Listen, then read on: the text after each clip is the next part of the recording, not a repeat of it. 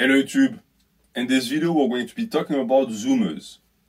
This is not the first time I record this video. Actually, uh, it should have came out 24 hours ago because I started this segment thinking it was going to be a big joke. I just scribbled some notes and some thoughts I had on zoomers and I just thought it was going to be a rant and a roast and it was going to be mainly a funny video. But the more I spoke, the more I realized that I cared about this much more than I thought because I ended up renting for an hour and 40 minutes. And this is when it clicked. This topic is not going to be funny. It's going to be a rant, but the stuff I have to share is some real shit. Because I believe that Zoomers are the sacrifice generation.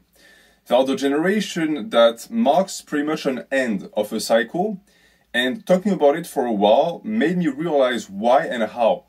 So instead of making a big joke and farce out of this, I instead want to present something pretty serious that is going to be a form of diagnosis, since I believe that I know now why Zoomers are the way they are. Since I believe them to be the worst generation, even worse than boomers, even worse than millennials, but not for the reasons you think. I think this is the first generation that is going to, to uh, kill itself on a symbolical level whereas previous generations constantly either killed the environment around them or the future or a mixture of the both like like uh, boomers for example. Even just now starting to talk i can actually start to feel my thoughts melting and mixing because i have so much to say about the topic but i don't want this video video to be a repeat of yesterday because it was too much rambling. Even for my standard it was terrible. So i'm going to try and structure it as much as possible and I'm going to avoid doing what I did yesterday, which is I try to convince you of something. In this video, I won't care about that. I don't give a fuck if my argument is sound or if it's going to be something that is going to touch you. I'm just going to say what I have on my heart and what I believe. And this is going to have one of two results. Either you are like me and you're not a zoomer and therefore it might serve as catharsis or it's going to open your eyes to the situation and why zoomers are widely hated by other generations. And also, if you are a zoomer, it might give you some keys of comprehension because a ton of young people on my channel reach out and they try to gain some knowledge and insight into their own situation. For example, I have people ask me, hey, I'm addicted to this and that, and I just can't face it. I don't understand what happened. A lot of my friends are addicted as well. What exactly is going on with us? Well, I think I know what is going on with Zoomers. They are the fruit of an environment, an environment that was created by the previous generations. It's also why I can't just sit there and make fun of them and call them idiots, because I realize that most of the shortcomings that Zoomers suffer nowadays and most of their misery comes from me. It comes from people my age. All of these pathological thoughts, all of these idi idiotic ideas and problems started brewing within my generation and it started to come to fruition within Zoomers. In a sense, they inherited all of the negative traits that we also inherited from boomers, and it's getting worse and worse. So at some point, something must break. Either the cycle is going to break because we're going to be able to realize our shortcomings and we're going to fix ourselves, or we're going to get to a point where humanity as we know it is going to degrade to a point where further reproduction and, and evolution is going to be terrible or impossible even. This is why I told you that I realized as I was speaking yesterday, this isn't going to be a fun video. So I'm not going to try and force the issue and make it fun. I'm just going to tell you exactly what I think. Now, the way I'm going to present this video is as follows, because even though this is a rant, I still want it to be structured because there is a main thesis. So there's going to be three main heads of the argument. And these three heads are what I call the three C's. In these three C's is to be found every single problem that Zoomers have to deal with nowadays. And they are respectively cope, cringe, and clout. So you can consider these sub-chapters of this entire video, which I'm going to try and contain within an hour. So let's get started. Let's start to discuss why Zoomers are the worst generation and why I believe them to be the doomed generation. The first C that I'm going to start with, the one that I find the most annoying, but also the one that truly gives the best insight into the psychology of Zoomers and Gen Z in general, is cringe. Now, if you know what cringe is, cringe is pretty much the witnessing of someone doing something which creates a sensation in your chest. And that sensation is usually unease, right? You feel uncomfortable because you witnessed something that you yourself wouldn't want to be caught doing. That's the essence of cringe. And it didn't start with Zoomers. Actually, cringe culture started with my generation. I remember being a kid and being with my family members, and for the French people watching this, watching a, an emission, a TV a show called Video Gag. And Video Gag was pretty much videotapes, as the name entails, of people getting hurt or doing something ridiculous, and everyone would laugh at them. And I vividly remember even back then not understanding why people laughed at it, but more importantly feeling uncomfortable because I realized there was something dangerous in this. Shame is an important part of society. Okay, pointing the finger at someone and saying, "Hey, whatever you're doing is not good for the group, so you must stop," is good, and this is when shame comes in. Instead of beating the person up, you have an easier mean. You just point the finger and you try to make them feel bad about their actions. It's a tool, a civilizational tool that has always been used. And actually, a civilization that keep, gets rid of shame and has a no shame culture, a no judgment culture, is an extremely toxic society. But the opposite extreme is also true. And this is when cringe culture comes into play. Cringe culture is pretty much an environment where every time someone puts themselves out there, is being daring or tries something new, takes a risk, they are being deemed cringe. And this is the ultimate weapon of conformism because by doing that, you utilize exactly what shame was created for you force people to behave a certain way. And in that sense, you create a behavioral bubble where everyone has to behave that way or else they're going to be rejected by the group. The question is, what exactly happens if the types of behavior that are being deemed cringe are ones that in the past were associated with virtue? For example, again, taking a risk. Back in the days, no one would have said that taking a risk was cringe. It was just dangerous. But I don't see that with Zoomers. Zoomers have taken cringe and they turned it into something entirely different. My generation used it again to make fun of people or situations that were deemed socially unacceptable. But not Zoomers. With Zoomers, it's a weird mix of projection and Schadenfreude, a German word that I think I pronounce horribly. The reason why it has become toxic under their reign is because they, for the most part, are going to call cringe something that they themselves wouldn't want to be caught doing. Not in the sense that they believe it to be shameful, but because they look at the risk aspect and they also look at the fact that you have to be outside of the group for the action to occur. This means one thing. If you look at Zoomers, one of their main traits is conformism meaning that they are extremely prone to herd mentality. This is why I also wanted to make this video. It's because I had big hopes for Zoomers. Looking at them grow up, I thought that the, this was going to be a generation to liberate itself from that type of nonsense. But they did the exact opposite. So with cringe nowadays, when a Zoomer calls you cringe, it's because you're doing something that goes against the grain. You're doing something that goes against the group, and the Zoomer doesn't like that. This is the Schadenfreude aspect. Usually and originally the German term was coined to describe a feeling of elation and even pleasure that one would feel by witnessing someone get humiliated or someone get hurt. It's not what it's like nowadays though, because that's not what cringe culture is. As I said, it morphed. Now it's someone did something that I or the group wouldn't do because it would make us step outside of the group. So we're going to call that cringe because it's weird. It's weird in the sense that it refuses to follow the trend and the herd. That is cringe. And actually, if you were to compound the use of cringe throughout the, the internet, if you manage to do that, you would realize that it's always used in that fashion. This means something. It means that society as a whole is evolving. If I went back 50 years ago and I somehow managed to explain to someone what cringe is supposed to represent, and I told them, okay, based on that definition, tell me something that is cringe what exactly would they tell me? Maybe robbing from your neighbor, that is cringe. Or maybe, I don't know, abandoning your children, that might be seen as cringe. Nowadays, it's not what Zoomers deem cringe. And this is a problem because it's a generational divide. What I think is cringe is not what they think is cringe. But this tells a lot about them and the way they function and their mentality.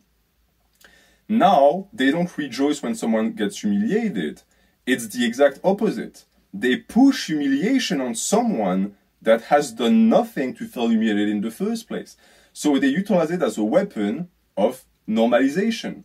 They try to unify the behavior of the individuals within the group by forcing them to step in line with the threat of being ostracized if they don't. And if you understand teenagers, you understand how powerful that weapon is because nothing scares a teenager more than abandonment and ostracization. Since when you're a teenager, it's the age where you're starting to claim your own identity and you're trying to spread your wings. You're separating yourself from your parents. You are anti tradition and anti conformity, but only for that group that you're trying to live. Because in truth, teenagers are some of the most conformist individuals because what they want deep down is being able to conform with a group and be accepted by the group. It's a normal human behavior. We are social creatures, and not being able to have peers or a support system is a death sentence. So, as you leave the support system of your parents, you have to replace it with something else. That is an essential part of the life of a teenager and of the, the life cycle of any adult. What happens when that cycle is transformed into a culture of sorts? What type of weapons will it produce? Well, it, would, it will produce cringe culture. Cringe culture is what happens when you allow teenagers to create normalization standards. They are going to come up with weapons that are going to push individuals into becoming more like the group. This is not a bad thing because it's always been the case. Bullying is that. Bullying is a group of boys, for example, who see another boy being, I don't know, too feminine or too sensitive, and are going to beat the shit out of the boy until he finally conforms to the group. It's not always great, but for the most part, it comes from a good intention. Teenagers don't know what they're doing when they're doing that. The only thing they see is someone who is different, that is not acceptable because it goes against the group, so we have to destroy that in that individual. The issue is that this is supposed to create strong individualities. Because there, is, there comes a time in the life cycle of an adult where that behavior itself is being shunned and you start to stand by yourself. So you emancipate yourself from the way too constrictive uh, uh, group think of the parent unity. Then you move on to a group of peers where you're much more of an equal, and that is, in a sense, a step towards the right direction, which is your liberation, where you can stand by yourself. With Zoomers, I don't see that anymore. It's like they got, they got rid of the last step and they stay at the group think level forever since the cringe that they cultivated, the cringe culture and weapon they cultivated, is one that in truth is used against individuals that are not part of the group, but most importantly towards individuals of the group itself. Since understand that someone who says cringe, cringe, cringe is actually projecting. What are they projecting? They're projecting their own fear of identity and our own fear of risk. Since someone who points the finger at someone who did something daring and failed and say, oh, that's cringe, or someone who is being different and say, oh, that's cringe, what does it say about the person who says that? Well, that they have developed a fear of these very things. And why do they have that fear? It's because it's what the group taught them. It's not a good thing to stand outside of the group, so anything that goes against the creation of the group is going to be deemed cringe. That is the ultimate form of conformism. As I said, it's the paradox of teenagers. They are rebellious, but their rebellion is just another form that conformity takes. And that conformity is the death of the individual. Because if you can never break away from that mold, you can never actually free yourself and find yourself. Zoomers is the generation that have never found themselves. They are a generation that is defined almost entirely by a form of herd mentality and culture you can define a Zoomer, and Zoomer mostly define themselves by the media they consume, for example, or the music that they like, or by a mental illness that they share. All things that are just surface level. These are just slight personality traits. Even sometimes they're not even that. And yet, that is pretty much all that Zoomers have become. All of that because of, again, cringe culture and that extreme fear of rejection. Zoomers fear rejection from the group so much that they create a situation where they will never be able to emancipate themselves from it. And this leads to a culture, as I said, where everyone is afraid to try. It's a culture where trying itself is deemed as cringe. So, of course, the individuals within the group are not going to try because trying is seen as uncool. And this is something that was prepared within my generation. My generation was the try-hard generation. We inherited from boomers a form of work ethic that is much closer to intensive labor than the actual fulfillment of the human potential. And it destroyed my generation. Most people in my generation are burnouts, meaning that they followed that ethos, but they didn't understand why, and it just shattered them. And a ton of them turned into communists or whatever because it's a natural reaction to being betrayed to that level. We were told that working our ass off was going to provide happiness, and we were also told that the goal of life was the pursuit of happiness. But happiness for us was equated with either pleasure or it was equated with work. You were supposed to define yourself by these two qualities and factors, and it led nowhere because it was removed from spirituality. Zoomers came after us, and they saw that. And as a reaction, because the generation always shuns, shuns the value of the previous one, they turned into non-tryhards. Trying hard is seen as uncool. The cool thing to do if you're a Zoomer is never trying. So, they are, in a sense, creating an environment for themselves where the values that are starting to develop for the group will lead to mediocre individuals. And it is a type of mediocrity that, unlike my generation, is not even counterbalanced by conscience. What I mean by this is, I know guys my age who are fuck ups, meaning that they don't have a wife, they don't have kids, they don't have a house, they don't have a job. They still with their mom in their 30s. These guys are fuck ups, but they know it. They know it, meaning that there is that voice in their head that tells them, hey, you did something wrong, and they're being devoured by it. It doesn't mean that they're going to fix it, but they know. I don't see that with Zoomers. Because I think that this voice was the voice of my generation. It doesn't exist in their heads. So not only do they live in this non-tried culture, but they see also absolutely nothing wrong with that. Because fear is keeping them in check. It's again that fear of trying. It's that fear of being caught engaging yourself right? You're not allowed to be serious. It's an anti-seriosity culture to the point that I've also noticed that Zoomers never like things.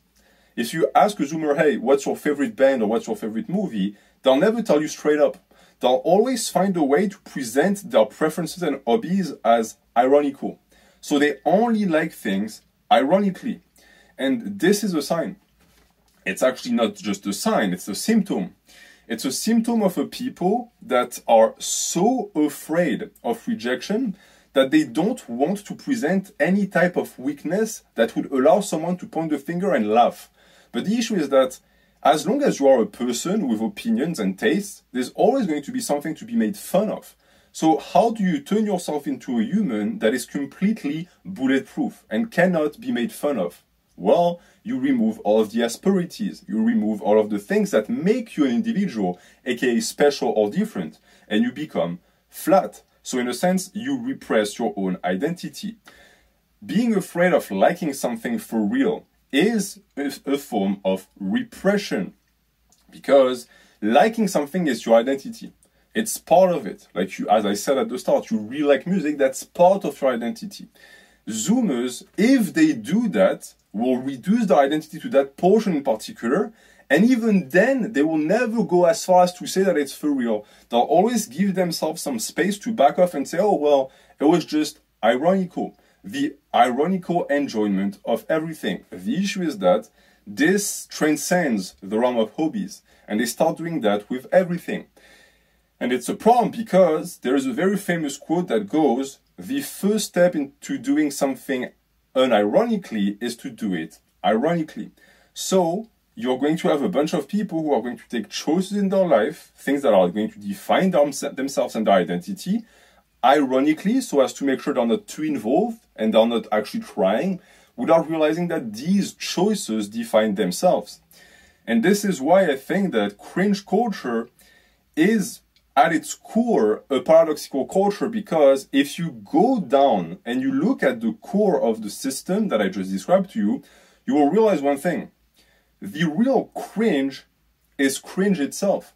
Nothing is more cringe than calling someone cringe because you express your own shortcomings, you express your own inability to be yourself and to actually stand for what you believe is right, to stand for what you actually truly like. But Zoomers are so deep down the rabbit hole of irony that they don't understand that. Because irony and sarcasm uh, creates a risk. you start to look at reality through, uh, through a scope and a lens. And you spend so much time looking at it through that lens that you become incapable of seeing it for what it truly is. So that is the first C that I wanted to share with you. The second one is cope. And cope functions almost on the same level, meaning that it's also something that is used to force people to conform. It's an agent of conformity. If you're aware with what cope is, cope is pretty much a word I would even go as far as to say just a sound because it means nothing, that you're going to tell to someone if you catch them attempting something. At the start and from its emphasis, uh, from its, uh, its origin and genesis, cope comes from coping mechanism. A coping mechanism is something you're going to be doing if you're faced with a situation that makes you uncomfortable, it may be traumatic.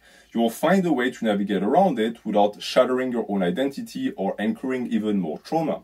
So it's in psychology a positive thing. But Zoomers have turned it into a negative thing, just like cringe.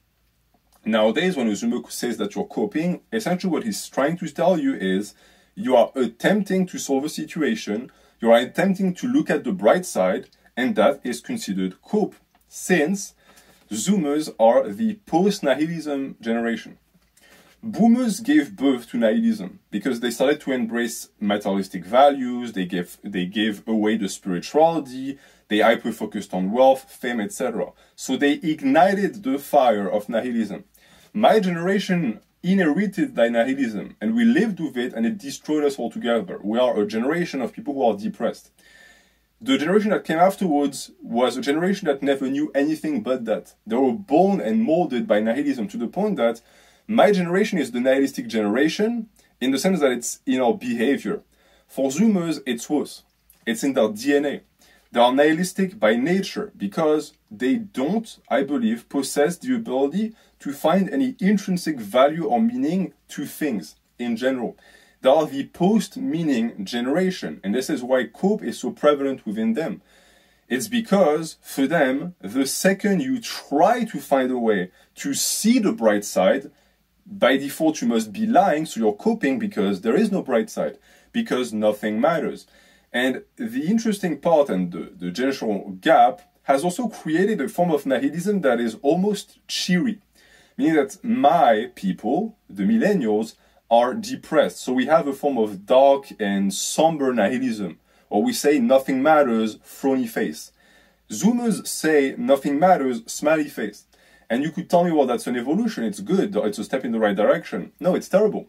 Because they've started to accept that their life has no meaning. My generation was being devoured by the thought, it made us depressed.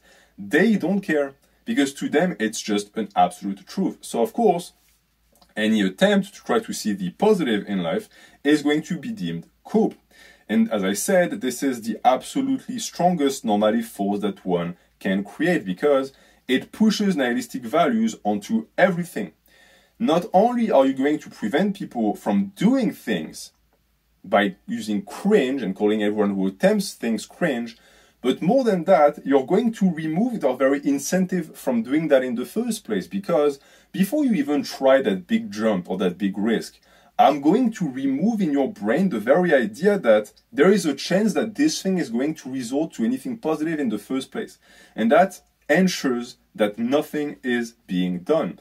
It's why Zoomers are the non-productive generation. My generation revolted against hyperproductivity because we perceived it as being a form of slavery. With Zoomers, it's not even that. It's just that they don't see the point. And this leads me to an, in, an interesting uh, observation and something that people my age might remember. Of course, generations that are prior, the older generation, always judges the next one. But I think that in this, there is more hope than annoyance, or there is more hope than just insult or offense. We look at the next generation because we know that these people are going to inherit the earth. So we have to pay close attention. And this is why I ended up making a video about Zoomers. It's because I've been paying close attention. And from the forums that I've visited in the past, I've noticed that people started to bet and gamble on what Zoomers were going to become and there were two main outcomes I kept seeing. It's people who are saying that Zoomers were going to be su super Nazis and they were going to be like super right wing and they are going to be like super based. this was mostly the, fant- the fantasy of right wing people that are my age on the internet. On the flip side, you had the leftists who said, no, no, Zoomers are, of course, going to be the woke generation. They're going to be the generation to reject capitalism, to embrace Marxist values, etc., etc. And the two camps would bicker all the time. It's funny to see that they were both wrong because they didn't understand what our generation was going to create in the youngins. Because we, millennials, are the hyperactivist generation and we're super engaged in politics and in societal problems in particular on both sides of the spectrum, the people that came after us saw that and thought, okay, that's lame. That's trying, that's that's being involved. We don't actually care about that. So if you look at Zoomers nowadays, they're mostly apolitical because it's simply something that doesn't interest them. And the reason why I include myself in this entire right wing, left wing judging of Zoomers is because I had also my hopes for Zoomers. What I hoped was that they were going to separate themselves from politics. They were going to transcend the realm of politics and do away with the cleavage. And I was also wrong. Because at face value, you could think, okay, well, they don't care about politics anymore, so it's good. Well, they don't care in the sense that they don't really understand the importance of it and therefore they have just completely washed their hands of it because they see it as lame. But politics is still a very important part of the entire equation. But because it is now an integral part of the, the generation and of the identity of Zoomers to not get themselves involved, well, they will not get themselves involved even in things that they should. Which is why it's always funny to see people again a little bit older that thought that because Zoomers were raised watching fucking Harry Potter and the Hunger Games, they were going to supposedly revolt against the government and the establishment. That's wrong. That's the feelings of my generation projected onto Zoomers. The most probable scenario is that Zoomers will just be completely apathic. They will simply not care. And you see that with the way they conduce themselves because cope is that Cope is simply not caring, and it's looking at people who do care and telling them that it doesn't matter that they care and that nothing is going to happen because nothing matters anyway. And this is why Cope and Cringe are very similar, because Cope is also a cope. When you push away coping mechanisms, that is a coping mechanism that you've put in place to protect yourself from coping mechanisms. It's like people who hate self improvement, which, by the way, for the most part, if you've noticed, are Zoomers. Why do they have they hate self-improvement? Because if you accept the importance of self-improvement, you also accept the idea that there was a problem in the first place. So now you have to face the problem. It's the same with coping mechanisms. Someone is trying to find a way to figure out how to face their demons and trauma, and you say, oh, you're coping. You are projecting your fear of your own problems and traumas because if you were to accept that the person is doing something good and positive, this must mean they're fighting something negative, which is the original trauma. So, what is the solution? Well, just ignore it. Refuse to engage, refuse to be productive, and ignore that trauma altogether. This is Gen Z in a nutshell. They just refuse to engage. And this is why they are devoured by mental illness. It is no surprise that they would be, because the only way to face a mental illness is to fight it. It's to accept it as something unacceptable. So it is to cope. It is to find a way to cope with the mental illness. But if you reject that very mechanism in the first place, what is going to happen? Well, these mental illnesses are going to get worse and worse and worse. And worse than that, they become normalized and accepted on a societal level. Zoomers are the first generation to turn mental illnesses into something positive. My generation hates their mental illness. We are plagued with it, we don't know how to fix it, but we still know deep down that it's a bad thing to have. Zoomers don't. You can go on TikTok or Instagram right now and find pages with hundreds of thousands of people that are trying to relativize their mental illness and try to make it into a good thing. Which means what? That they're never going to actually face it. They will be stuck with it for the rest of their life. Does it mean that their mental illness is not destroying them from the inside? No. It's just as damaging for them as it is for us. But the way they have chosen to deal with it is nothing. They just say it's a good thing now. It would be the equivalent of cutting your own arm and just spluting blood everywhere, but instead of getting a band-aid saying, okay, well, it's not that bad. Actually, life with one arm is better than with two arms. But the issue is that the blood is still spurting. You're still going to die. Zoomers don't realize that. And even if they did realize it, I don't think they would care, since the value that they associate with life is minimal since it is in truth a very defeatist generation. It's a generation that has given up before the fight has even started. It's a loser culture per se. And you know, loser culture also indicates that there are losers within the generation. That has always been the case. I mean, there's a ton of losers in boomers, there's a ton of losers in my generation, but the difference again is the mindset. Guys I know, and I'm repeating myself, but it's important, who are losers know it. And they try to deem it or they try to mitigate that feeling that they have of unease by, by coping or they use drugs, etc. But at least they know what, that what they're doing is bad. Zoomers truly don't. And it's not because they, they lack the self awareness, it's because they refuse to face the lessons and reality that the self awareness gives them. The problem is that this is the reason why they are stuck in an endless state of arrested development. I told you that cringe, clout, all of these things. I said clout, it's a spoil for the rest, but clean, cringe, cope. All of these were mechanisms that were seen at the start and then perverted. And the, the thing they do when they get perverted is that they, they get the individual stuck because you can't move past things. When you stop coping with your problems, while you're stuck with your problems, you can't evolve. When you refuse to try things because it's cringe, while you're stuck now because you're not getting anywhere, you're not taking an additional step. And this is the reason why Gen Z is the Peter Pan generation. There are man children in millennials, a ton of them, but the percent is still relatively small. In Zoomers, I think it's going to be mostly the norm because they lack the tools and the psychological mechanisms to move past childhood. Because what constitutes childhood?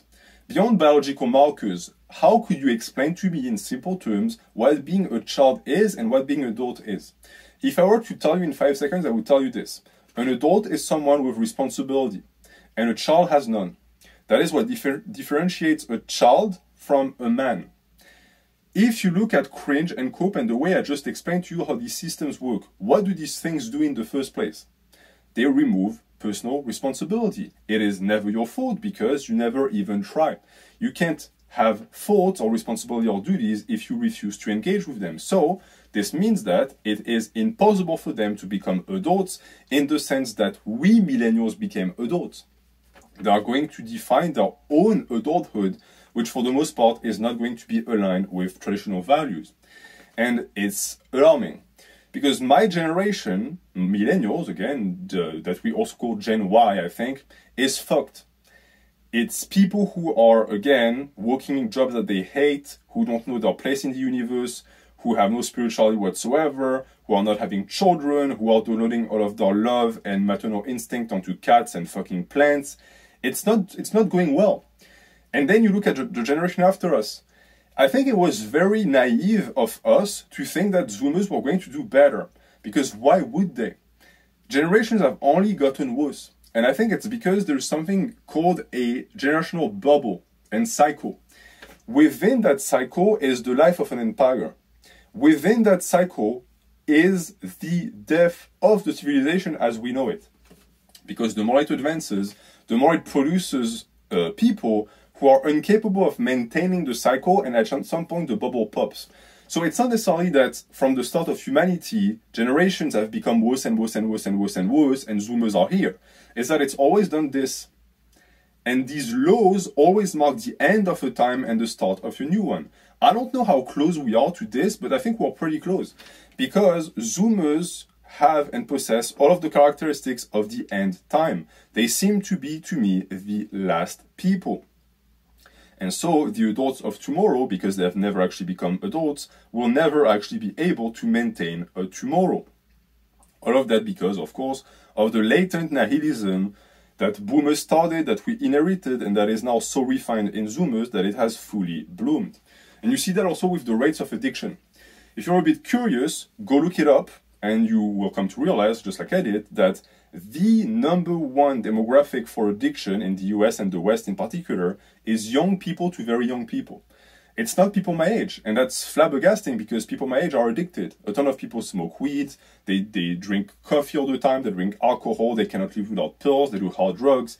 And yet we're being beat by these kids coming after us. And is it any wonder? They live in a drug culture, just like they live in a cringe culture. All things that were manufactured by us. It's why also I want to uh, mitigate my words and try not to appear too much as someone who is judging. I understand perfectly that what Zoomers have to face nowadays, the environment they have to face, is because of me. It's because of us millennials. We created that. We dumped these poor kids in that completely bleak environment and they turned into bleak individuals. Individuals that cope with their problems with drugs to the point that it's now also part of their DNA. My generation, again, knows that using drugs is bad. I don't think that Zoomers know that. Zoomers engage with drugs with a smile on their face, completely oblivious to consequences or even just completely uncaring. I don't think they care. And to connect to fitness, finally, because supposedly this is a fitness channel, you see that with SARMs. Have you seen the liberty and liberality with which teenagers and Zoomers do SARMs? It's like they're just popping candy in their mouth. And the worst part is that this translates to every drug. They have a cavalier approach to drugs that is almost fascinating because it's a form of kamikaze. My generation had a ton of tough guys who said, I don't care if I die young and I'll do steroids and I'll do hard drugs and fuck it, you only live once. But they never really meant it. Meaning that the second they heard they were going to die young, they stopped cold turkey and they go cry to mommy. Zoomers are not like this. I think that we face the first generation that will actually die much younger than the previous one, and they won't actually give a fuck because they don't think that that life has any value whatsoever, since they ironize over it all the time. Just look at the type of jokes they produce, especially when it comes to PED use. It's always a way for them to lessen the difficulties and consequences of PEDs or to just shrug them off. Just make a joke out of it, because if you can make a joke out of your own mortality, then facing your own mortality is not so bad. It's a normal defense mechanism. You know, laughing in the face of death, laughing when you're faced with an environment or a situation that makes you uncomfortable, that's healthy. But if it becomes your main mean of coping with the problem and it's all you do and you always ironize, it stops being healthy because when you constantly turn the word into a big joke, you stop having an ability to engage with it on a serious level. Zoomers are never serious because being serious is boring to them. It's not a mode of thought that they actually engage in. But it also means that when it comes to protecting their own life, they are absolutely incapable of doing so. They are the equivalent of toddlers playing on the highway. You can trust that a truck is going to come by and just completely pulverize them in a thousand pieces and the toddler will never see the truck coming. And this is why I think that Zoomers will be the generation that is going to be the most impacted by PED use. Also because, of course, they are being bombarded by that type of advertisement. And if you look at the form that SARMs, pre-workouts, all of these test boosters have molded themselves into, you also get to understand the sinister business of the companies that sell them because these companies have also understood that there is a strong Peter Pan syndrome in teenagers and Zoomers. It's always very flashy, bright marketing. It's always exploding words. It's always things that would in reality only attract the eye of a young child. And yet, these are always a strike with Zoomers because, as I said, they're stuck in a state of arrested development. They're stuck in a state where drug culture is so prevalent nowadays that they have stopped understanding that there exists a life outside of it. Look at stimulants. Look at how prevalent stimulant addiction is in Zoomers to the point that I remember making my video about uh, stimulants and why coffee is bad for you, and people in the comments saying, Holy shit, I stopped all of these stimulants for two weeks and my headaches are gone. I'm not fatigued anymore. I stopped shaking. I thought these were normal things. I had kids tell me I thought I thought these were normal symptoms of being a human because all of my friends have these symptoms. But it's because they're all addicted to caffeine they have no way to look outside of the addiction because they have no reality to actually look at.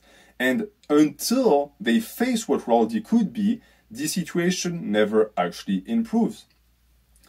And this was mainly caused by, by social media. Social media, I think, will be regarded in three or four hundred years as the key event that pushed human evolution towards its doom and towards its extinction because my people, me included, discovered these things when we were already reasonable enough and we had developed some level of intellect. And it still fucked us up. My generation, the, the men of my generation are addicted to porn, for example, even though we discovered it late in life, in our mid teens. What do you think is going to happen to a generation that grew up with this shit, who had access to porn at the age of 8 or 9? They are never going to have healthy relationships with women. I think that this is a wrap on this. If you think that people are not getting married and having kids now, just wait and see. The, the relationship between men and women is going to become impossible because they're both going to be so addicted to social media that it's going to pull them towards different directions. Women are going to suffer from it because of attention. Too many women are going to be fed attention to the point that their nervous system and brain is going to fry entirely, and they're not going to be able to have a committed relationship with one man because that won't be enough attention to satiate them. So we will have what is known nowadays as an herbivorous generation an, a generation that is going to stop breeding, that is not going to have kids. If you thought that the West was suffering from low demographics, you are in for a rude awakening when you start seeing the numbers that the Zoomers are going to pull out. The relationship with the opposite gender has been completely dashed and completely destroyed, and that is social media's fault. And this leads me to my last C. The last C is clout and it completes uh, the trinity, the holy trinity of Zoomer pathology, because as I explain and, this, and, and try to uh, unveil for you, the most important thing for teenagers and Zoomers is the ability to conform to a group. And they will put in place many mechanisms to one, convince themselves that this is the good choice, and also to prevent people and themselves from, from leaving the group. But, and this is a conclusion I came to at some point by looking at humans throughout history, I think that at all points human beings were looking for a savior, but not just a savior, also someone to worship. Worship is an integral part of the human existence and experience. And throughout history, this verifies itself. Humans have always worshipped something. Whatever form it takes, it's always something. If you take a look at who Zoomer, Zoomers worship, for the most part, it's social media influencers. They have turned their attention towards them. And the reason why I insist on the creation of the group is because the bigger the group is, the stronger the influence of the God, the more conformist the group is going to become. Gen Z is a generation that is, paradoxically, the one that worships the most. And it's, it's as I said, paradoxical because if we look at Western culture, we moved away from religion into a form of atheism. And you could think, okay, great. This means that we're going to liberate ourselves from dogmatism and we're going to stop worshipping false idols. But that's not what happened. If anything, there are more worshippers now than there have ever been in the entire history of mankind. Only difference is they don't worship gods anymore. They don't worship the God of Islam or the God of Christianity. Instead, they worship influences. The problem with that is that this sucks because at least you worship God, it's an infinite being with infinite knowledge that created the universe. Yeah, that guy is worth being worshipped. But what about the people nowadays on Twitch, on YouTube, on Instagram that have all of these Zoomers at their feet? Are they worth anything? It's insane to see that as someone who is only 10 years older, I can immediately pinpoint how much of a piece of shit some of these guys are. Some of these dudes that end up turning into gurus who are just able to say whatever and the fanboys follow it blindly. These guys are very dangerous because the power that they wield is completely unmatched with their intelligence. There is no balance there. If you have had the misfortune of looking at Twitch, for example, you will come to realize, realize it. The most popular streamers are the ones who have the biggest audience of teenagers and Zoomers, and for the, for the most part are the most idiotic. They are not leading these people anywhere good. This is why I think that the entire triple C thing is a perfect storm, and clout completes it. You now have a people highly conformist and group oriented who also worship fame to a level that has never been seen before. Meaning that for a Zoomer, a sign of credibility is going to be the fact that a person is widely followed. And this leads to extremism on the verge of fanatism because I've seen things on social media that send chills uh, up my spine. For example, a post about, I don't know, some chick that played in a movie like once or twice with millions of likes of Zoomers who are essentially just liking a random picture and saying things underneath like, oh, she's a goddess or I would die for her. I believe them because these are the new gods. They are the new gods of children. These are the people we have to count on when it comes to actually mentoring the youth. I think that it's a sign of the apocalypse. It's a sign that the end times are near. Since you could expect Zoomers to actually grow out of it, but they never truly do. That latent fanboyism is always present in their heart. They might move from a person to a person, but they never move on to themselves.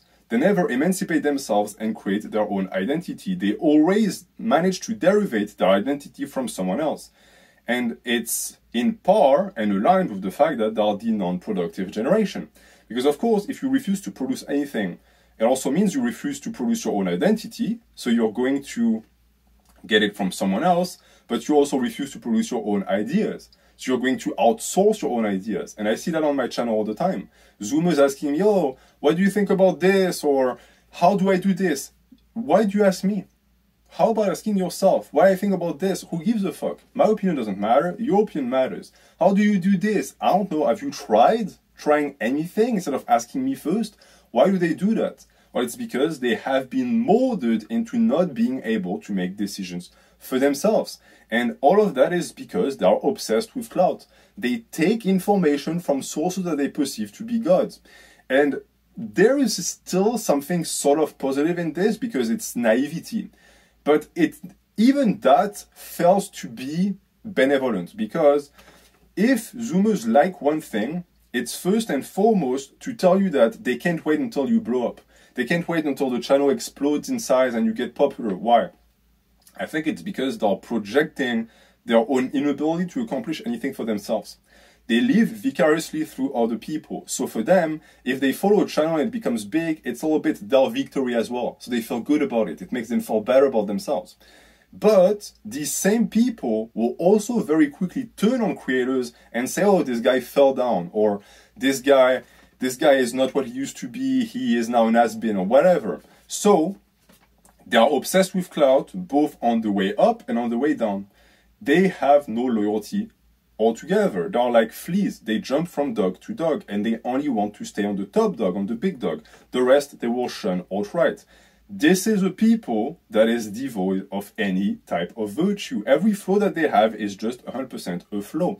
And it's observable, especially with the younger Zoomers, although it's always been present. It's a trait that my generation didn't really have.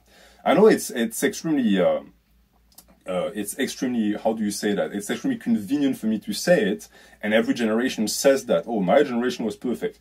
I'm not saying mine was perfect, but they didn't have these traits. They still had identities, shit identities, but identities.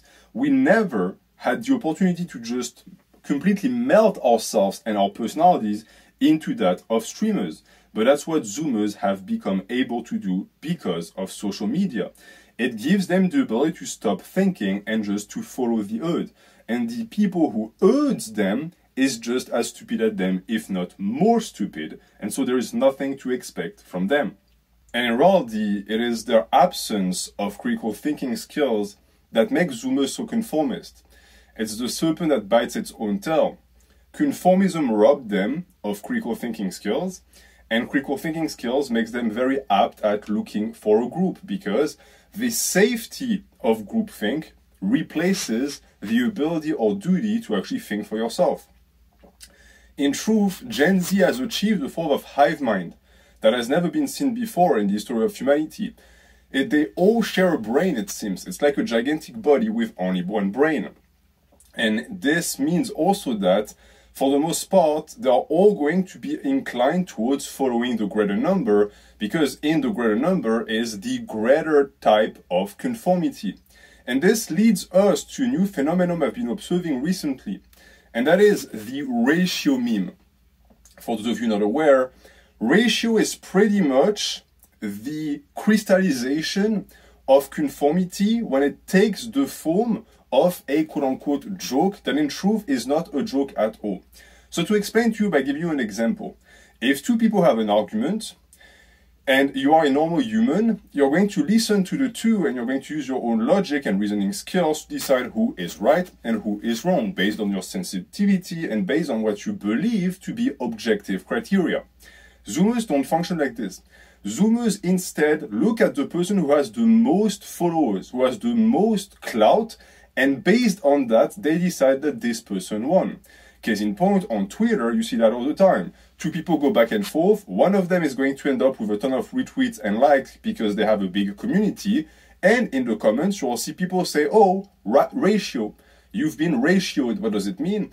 It means that the other person has more clout and popularity than you, so you lost by default. And you could say, well, that's just a joke, NH. You taking you take everything seriously.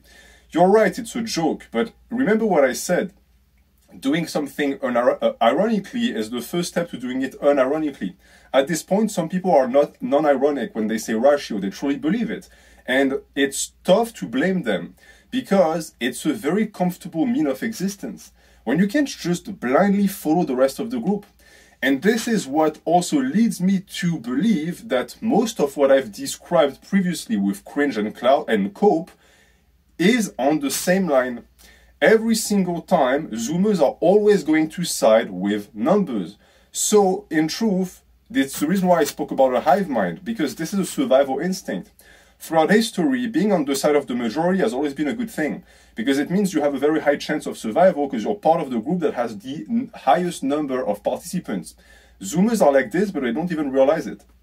They don't realize that their entire identity is circling around that very concept. Because again, look at cringe. What is cringe? For the most part, Zoomers don't decide themselves what they find cringe. Instead, they let the group decide what is. It's the reason why you have cringe compilations. Cringe compilations cannot magically tap into the brain of every single human that watches them and pinpoint exactly what they think is shameful.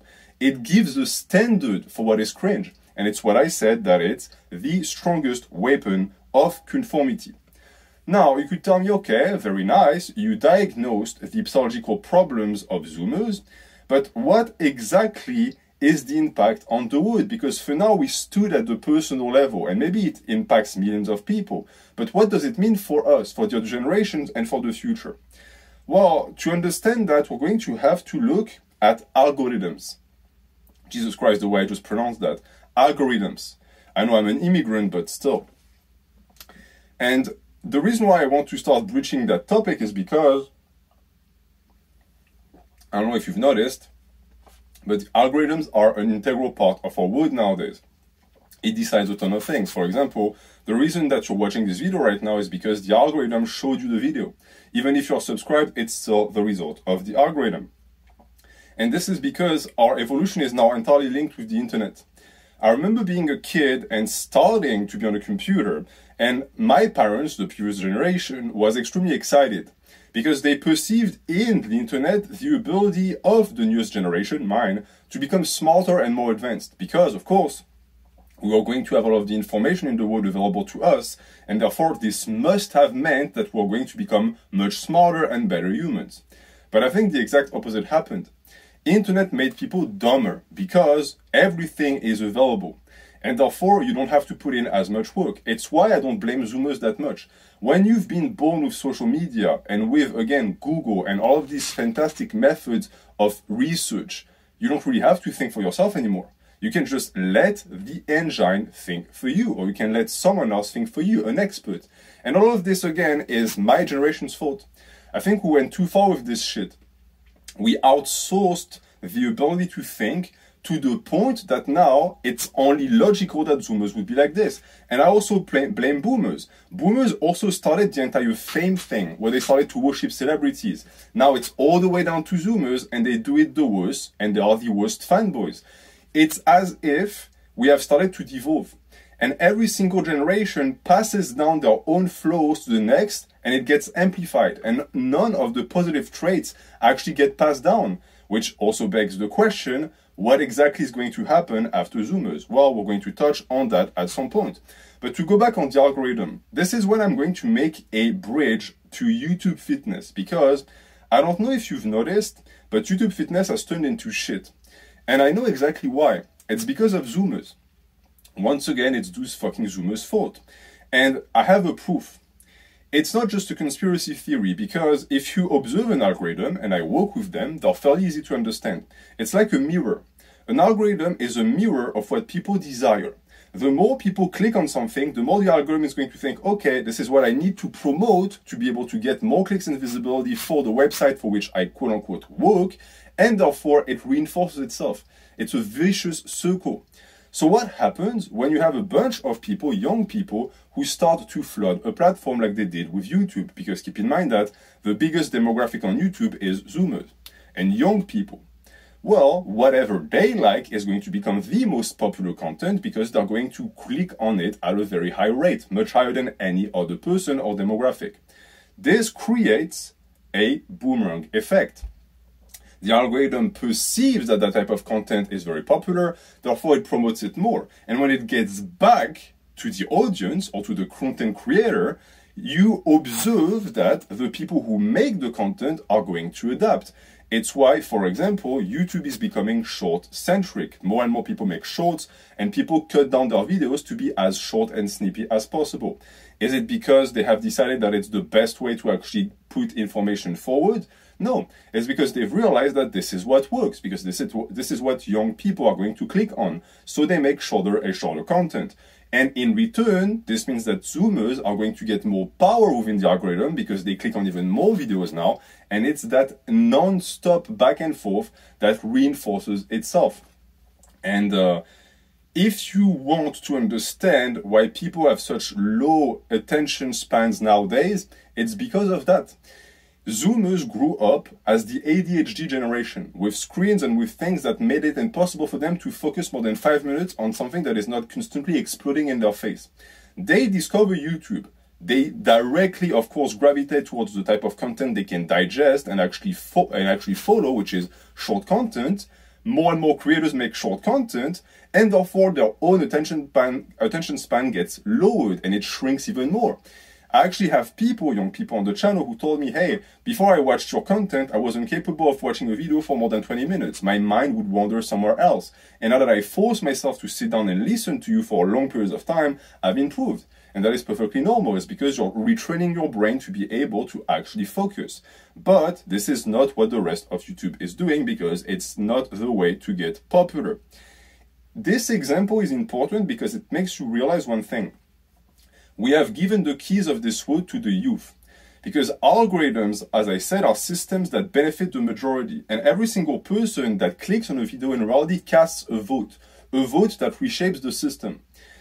If you start to realize that our world, physical, not just the virtual, is also in a sense shaped by a form of algorithm, which is the demography and the way the generations evolve and the traits they develop, you come to understand how dangerous that is you never want to give the keys to culture to the youth. Why? Because young people are stupid. If you give them the power, they are going to turn everything into an image of themselves. And this is why I believe that we are getting to the point where not only are Zoomers going to suffer and, uh, uh, tremendously from the, the, uh, the shortcomings that I've already exposed, but the world around them also will.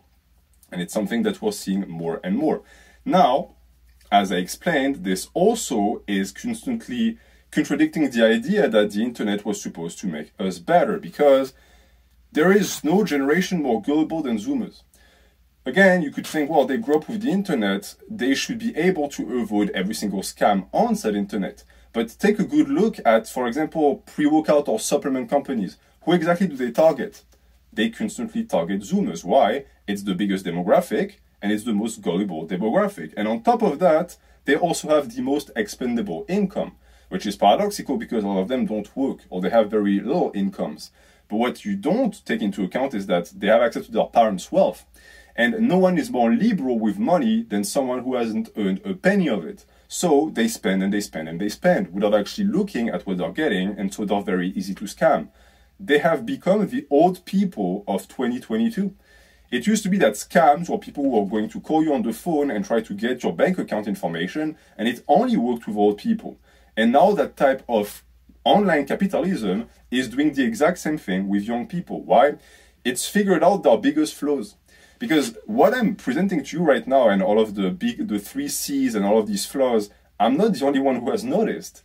It's very easy to notice. Psychologists have realized that a long ass time ago, and companies hire psychologists to be able to run their marketing campaigns. So, if we look at the way marketing is shaped nowadays, we come to understand the problem with Zoomers. It's just, you just have to observe viral marketing campaigns. How does marketing function nowadays? How will a company try to sell you a product? It used to be with boomers in my generation that to get people to buy a product, you needed to tell them that the product was good, even if you had to lie, because it was the method that functioned the best. Nowadays, this is almost gone. You don't have to do that anymore because it's not super relevant for Zoomers. Instead, you have to tap into the fear of rejection and our love of conformity. So, what do you do instead? Well, you make them believe, also again, even if it is not true, that the product in question is beloved by the rest of the population and the rest of people their age. And just like that, you're going to get them to watch it. Case in point, if you have your eyes open, movies have started to do that a ton. Because viral marketing campaigns for movies usually target the youth and they are always run the same way. You'll see a ton of memes or a ton of jokes online that are going to say, oh, I cannot wait to see the movie, or oh, look at this funny thing we're going to go do when we go watch the movie. All of that is extremely, uh, extremely palatable for teenagers. It makes them want to consume that content and that cultural media, even if they had no interest in the first place for said media. You saw that with the Minion movie, you see that nowadays with the Barbie movie. All of these things that you see are marketing campaigns. But at some point, as I've already explained in previous videos, the people targeted by the marketing start creating the marketing themselves. This is how vicious and how intelligent that practice is.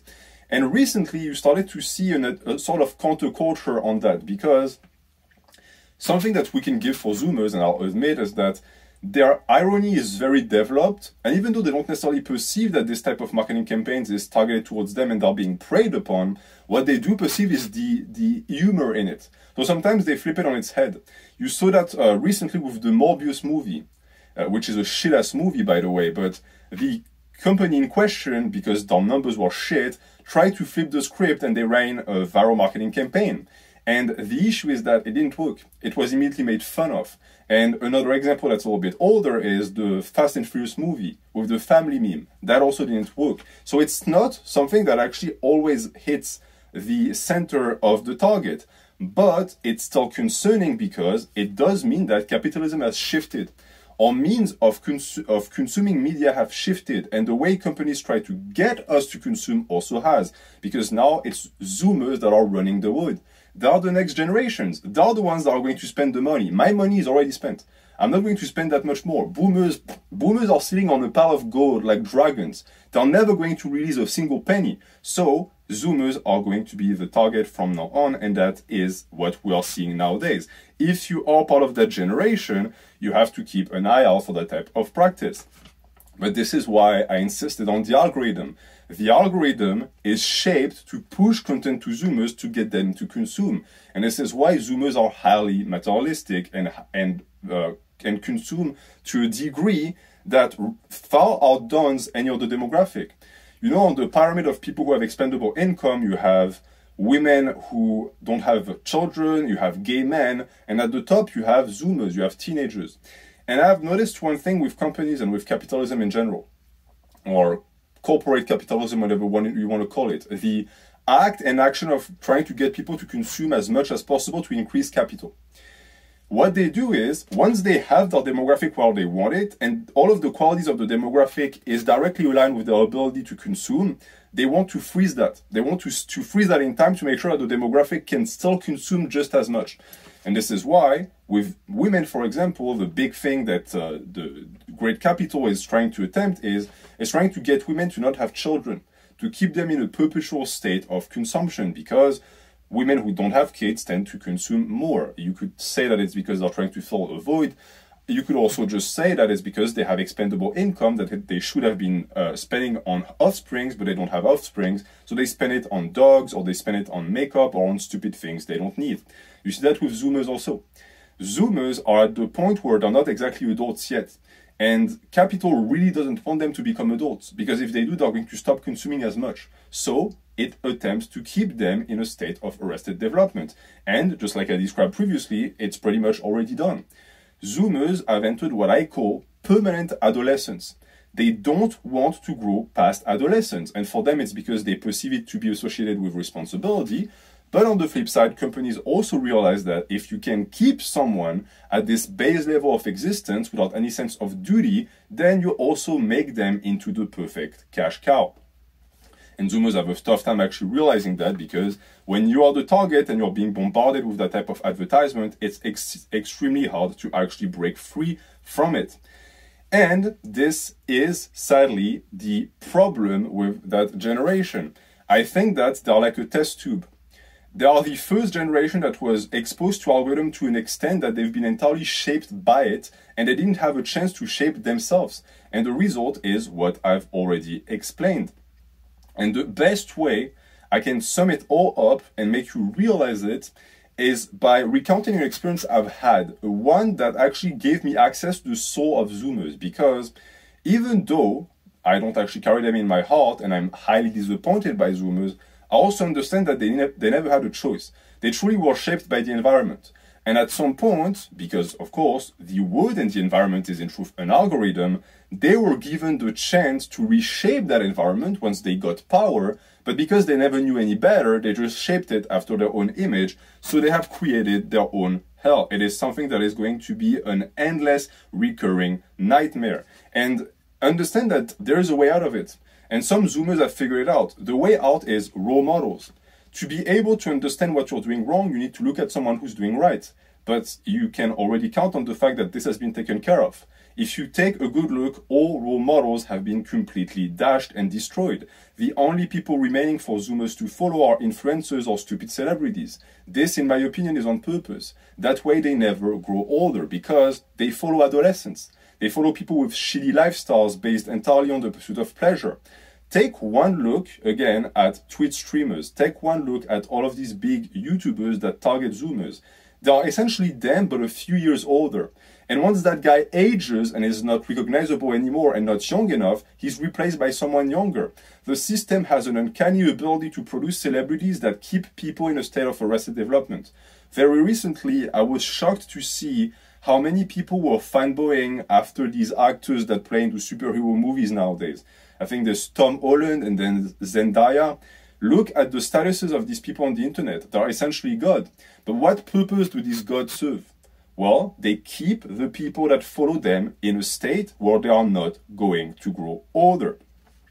And if you prevent people, especially young men, from accessing, accessing role models that are going to give them a good idea of what is going to happen as you grow old and make you want to grow older, you are going to be perpetually stuck in youth culture. Youth culture that essentially then becomes the culture of the world because every single platform adapts to the largest demographic and Zoomers are the largest demographic. And since they have no identity whatsoever, they adopt the identity that is pushed upon them by the system, and that identity is then the system. Now you understand why this video is not as funny as it was supposed to be. It's because the more I spoke about it, the more I realized that the entire thing was a trap from the get-go and it's now too late. It's a trap that my generation should have seen coming. Boomers are too stupid for that shit, but we inherited the nonsense. We should have perceived that it wasn't going to end good and well. And we didn't. And therefore, we left all our brothers with the shit they have to deal with nowadays, where they are forced to look for role models in social media. There are no good, virtuous role models on social media, so they end up following people that are their age, that have nothing to offer to them, no sound advice, and therefore things like Gymshark, things like again streamers or SARMs culture becomes prevalent because no one is there to tell them that this is no good. Zoomers, Gen Z, is the result of a generation that grew up without role models and most importantly without morals, period. They don't possess something to show them what is right or wrong. And this is a spit in the face or a spat in the face to all of the people who thought that morality was innate, like it's floating in the air and you're born with it. The proof is in the pudding, it's not the case. Look at again drug culture. If no one is there to tell you and to explain to you why drugs are bad, you're not going to innately know it. If anything, you're going to gravitate towards it because it feels good. Your primal instinct is going to tell you to do drugs. This is why morality was needed. This is why these standards were needed. Boomers did away with them. My generation was left completely fucked because of it. And our Zoomers are suffering the consequences even more because morality doesn't even mean anything to them. They don't know what it means. To them, it's old shit, it's try hard shit, and therefore they are simply not interested and are simply not going to pay attention to that. And if you want to have a direct view into the soul and the mind of Zoomers and understand that everything they're going through is not making them happy, but in reality making them miserable, I think you just have to look at their memes. Zoomer humor is a trip because if you're not a Zoomer, you're not going to understand it. And at first, you're going to think, well, this is stupid, just like I did. To make this video, I looked at Zoomer memes and I couldn't understand a single one of them and I never laughed once. If anything, it made me uncomfortable. It was, in a sense, a form of existential dread I was experiencing in front of said memes. And at first I thought, okay, it's because it's simply not funny. It's not me, it's not that I can't understand, it's that objectively it's not funny. And then I had an epiphany.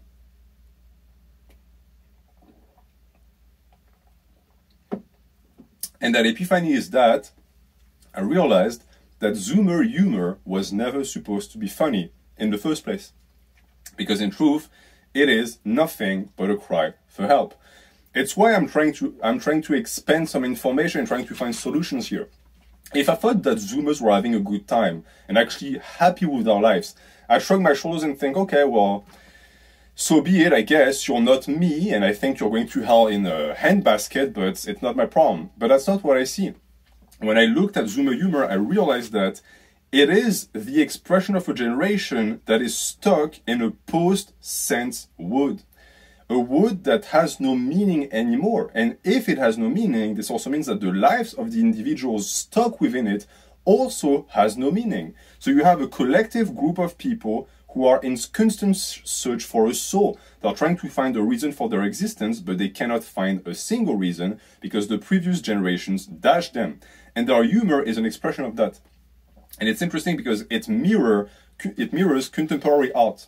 If you look at art and the way it evolved throughout the ages, at some point, and it's modernity that brought that upon uh, upon the scene, art stopped representing reality. And art stopped having sense because artists thought, well, why should art have any sense? We should be able to create art for art. Art is sufficient, it, it is a self sufficient form of creation. It doesn't need to mean anything for it to be good. And this is when our art became shit. It's when it turned to actual flaming garbage because it lost any sense. Zoomer humor is the same. Humor is the reflection of human souls. It's what I believe. If you look at someone and you try to understand why they laugh at certain jokes, it's going to give you a ton of information about who that person is if an entire generation starts to develop memes that are not funny objectively and are meant to not be funny, what does it mean about them? It means that the way they perceive the world is entirely nihilistic, since if nothing has meaning in the world and comedy, quote unquote, art is supposed to copy life, then senseless art is now funny. This is the new funny. Not being funny is now funny. It's why, if you look at all of these Zoomer memes, you will see that for the most part, they are ugly, they are low effort, it's very pixelized, or they do things on purpose to make it look like they didn't try hard. Like, for example, they'll write, It is time for me to take the, the garbage out of the house. And they repeat the two times. Why? Because it's funny. I didn't take the time to correct the typo, guys. It's funny. It's not fucking funny, but it's funny to them because it's not. This is, as I said, the expression of Zoomer's soul because they don't find it funny, just like they don't find any sense in the word. And the only way they have to cope with this is to ironically look at it and try to laugh. Try to laugh at the absurdity of their situation. Zoomers are the new absurdists. They're trying to find meaning in the absence of meaning. And this is why also I think that they're not entirely lost. They're still struggling. There is still something in them deep down that is understanding that their situation is not good. The problem is that the mechanisms they are trying to put in place to actually save themselves from that situation do nothing because they just reinforce their problem. So if I were to do a small recap before I end the video, if we look at the situation globally, here is a generation that refuses to try, that thinks that effort is cringe and being a tryhard is lame. So they can never get themselves to actually accomplish anything. They also have a very unhealthy relationship with difficulty because every time they face one or they have a trauma that they have to actually confront, they find a way to avoid that by calling it cope. So this led them to have terrible mental illnesses and also a terrible relationship with drugs. Because if you tell yourself, okay, I have an issue, I'll solve it with drugs, and you refuse to face the fact that the drug that you take to solve the trauma, the, the trauma is a problem in itself, then you are going to have to face the consequences at some point that are going to be dire whether you actually believe in it or not.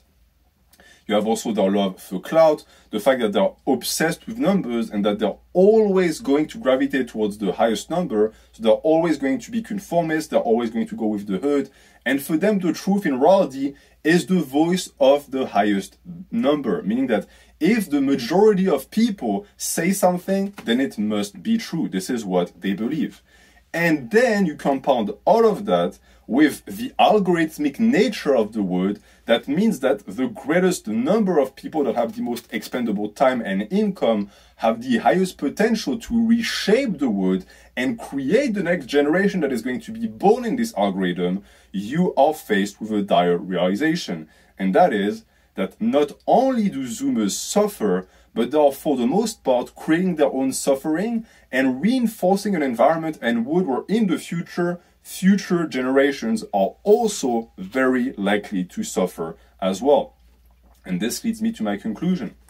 Whether it is by mistake or not, I think that Gen Z is a generation that was bred for slavery because they have every single desirable trait to, to concoct a group of people that are going to be non-respondent to authority in the sense that they don't respect it, but they will do nothing to face it if it ends up at some point going after their liberties. They are going to remain entirely despondent. As long as the, system feeds them what they want and all of the mechanisms, the psychological mecha mechanisms I told you previously stay in place, they are going to be entirely obedient which goes entirely with what I believe was going to happen. I thought that Gen Z was going to be the rebellious generation that was going to break free from the chains of morality.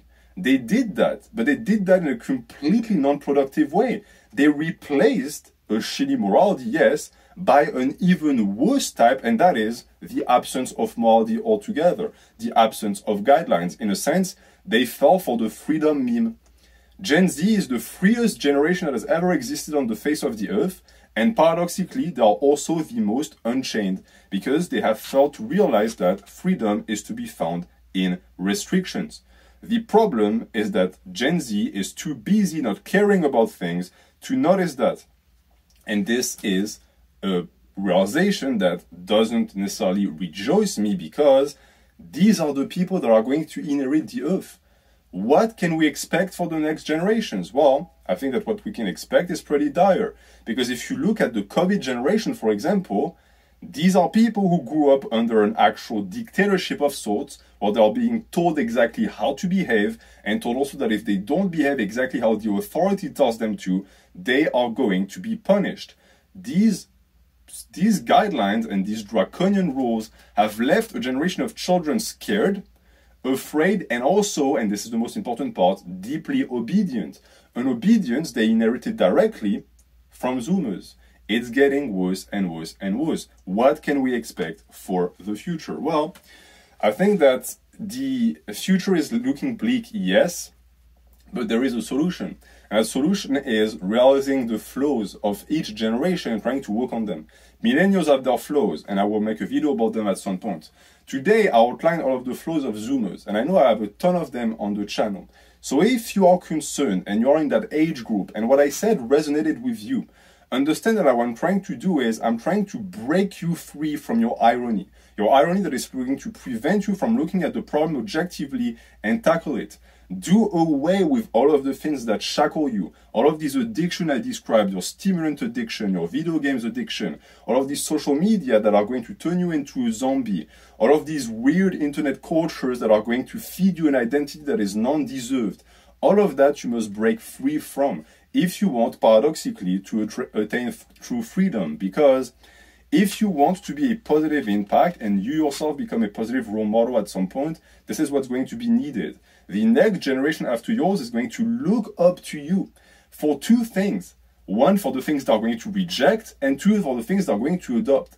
So, what image exactly are you going to give them? This is the question I want you to actually put in your head. You're not going to be a kid forever. You might stay an adolescent forever, but this is only an illusion you fabricated for yourself and that the system is trying to keep you into. Break free from that and finally become an adult. Emancipate yourself from all of these chains and become the person that you were always meant to be because I think that Zoomers have potential.